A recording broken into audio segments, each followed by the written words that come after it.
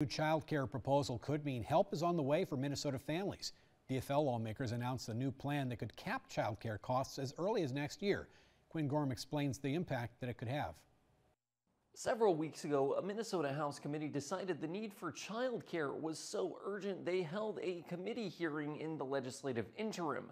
Now, several of those lawmakers are pitching a way to dramatically lower child care costs statewide. DFL lawmakers from both the House and Senate gathered to announce the Great Start program, a bill that's being worked on to cap child care costs for most Minnesota families.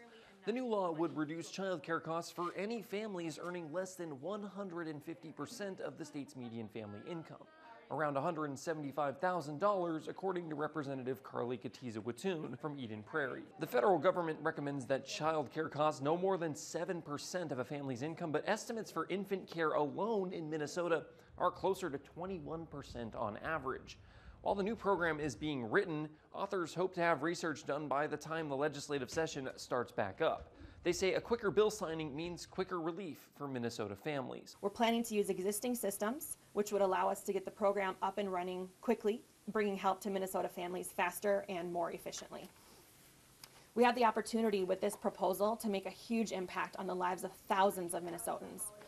If the bill can be finished by the time the session kicks off in February, this could be one of the first bills to hit the floor.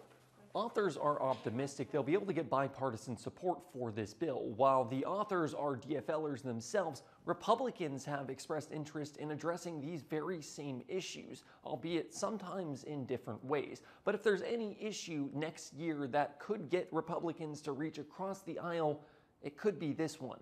Reporting in St. Paul, I'm Quinn Gorham. Authors believe the state budget surplus could help pay for the program.